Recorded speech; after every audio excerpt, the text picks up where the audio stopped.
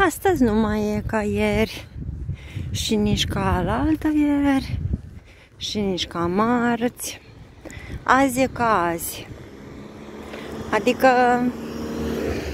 e soare, nu bate vântul și eu am ieșit din casă. De ce am ieșit? Pentru că nesperat a sosit cartea și de bucurie am uitat la ea, ea la mine și i-am spus, dragă, te iau într-o într-un loc în care să încep a intra, a continua, că de intrat am intrat în povestea lui Vasea, că primele două cărți le-am citit. Asta e ultima din trilogie. Așa că m-am gândit să o iau. Mi-am luat o cafea, asta eu. Mi-am luat o cafea, un Spanish latte și evident cartea. Ce zgomot! Și am venit. Bine, de dimineață am terminat de aranjat casa pentru că vom avea musafiri și mi-am pus în ordine ce am putut să-mi pun. Rog, ce să vede. și uite și un cățel aici. Sper să nu mă latre. Nu. Sau să mă muște, să vină prin spate. Și am venit în locul ăsta, adorabilul ăsta loc.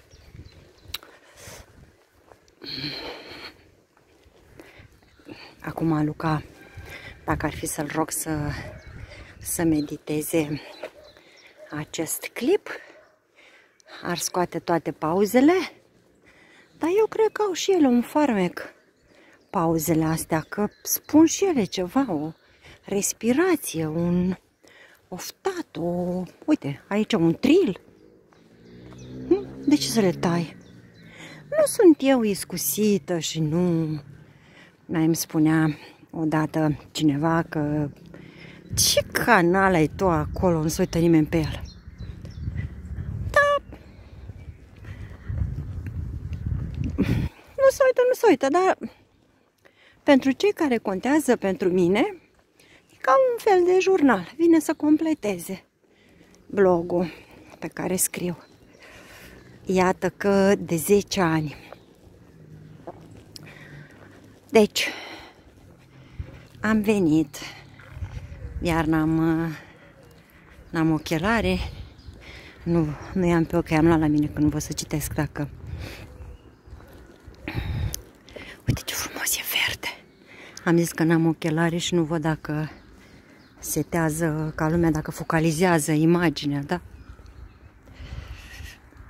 Cred că totuși o focalizează într-un fel sau altul. Și am să ajung acolo, am să beau această cafeluță care are în ea un amaretto, ceva după cât reușesc eu să-mi dau seama la gust. Și voi începe cartea, nu pot să o scot cu amângeantă și într-o mână am telefonul. Și într-o mână, ei noroi, am cafeaua și nu mai am mâini doar dacă o scot cu dinții, dar nici cu dinții nu pot, pentru căci este într-o pungă.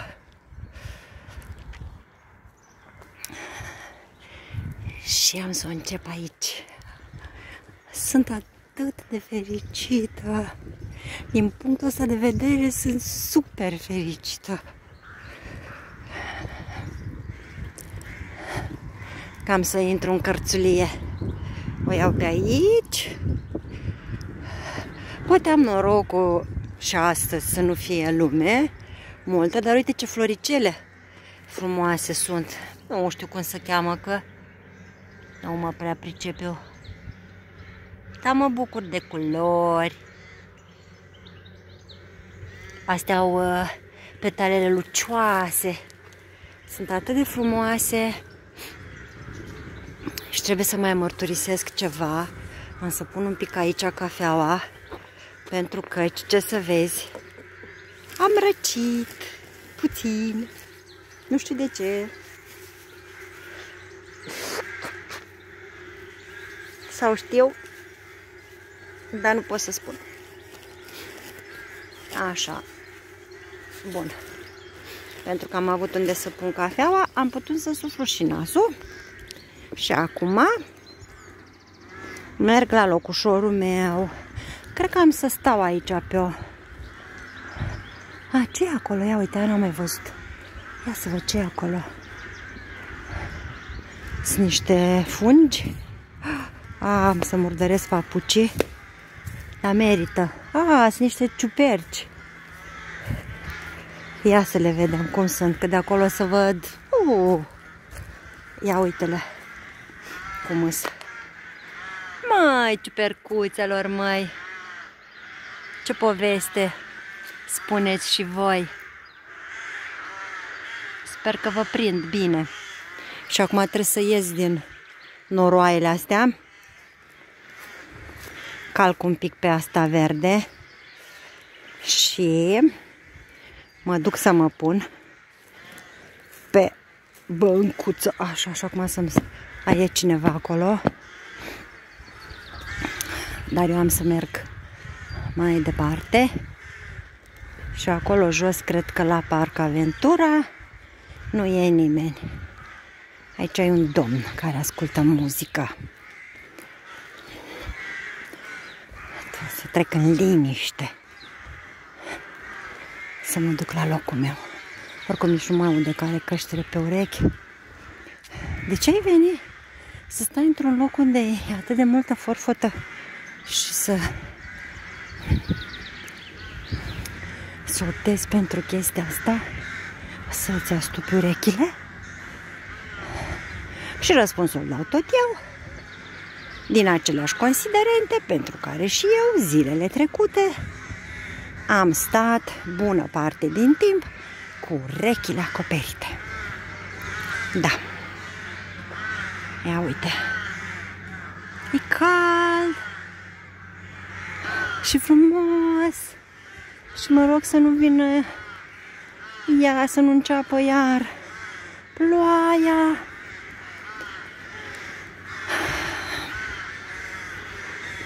Da, chiar dacă începe. Are nicio importanță. Așa mi-am zis că trebuie să mă bucur de fiecare zi. Cât pot, cum pot. Aici la noi în oraș s-a petrecut un accident groaznic.